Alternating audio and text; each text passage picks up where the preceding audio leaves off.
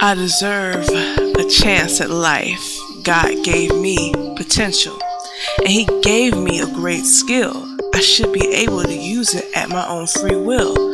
But if you control my will, that means you control my life. You make me a puppet by pulling my strings.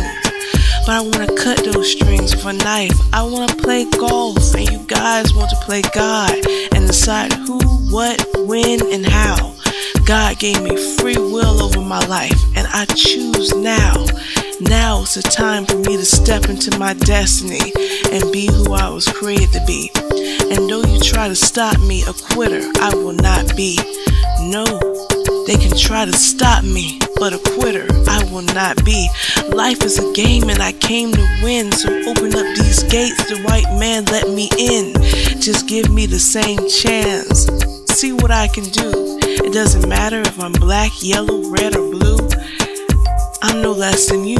Isn't the color of the blood that runs through my veins the same as yours? And that means I'm human, and every human deserves a chance. Not one drop of blood is superior nor inferior, so do not judge my exterior. In my interior, there is a skill and the ability to be great. I want a chance too. Chance should not be taken away because of you. Do not be afraid of something new. I may not be rich.